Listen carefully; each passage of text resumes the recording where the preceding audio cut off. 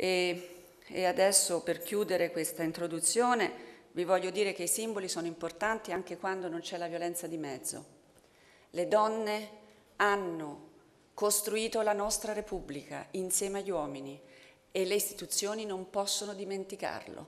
Per questo ho voluto dedicare questa sala qui antistante alle donne, le donne costituenti, le donne sindache del 46, la prima donna presidente della Camera, la prima donna ministra, Tina Anselmi che ci ha lasciato pochi giorni fa, e la prima presidente di regione. Le donne hanno collaborato a rendere questo paese democratico e devono essere riconosciute in quanto tali. Quindi è un modo di restituire loro quello che finora non era stato loro dato. Vi ringrazio.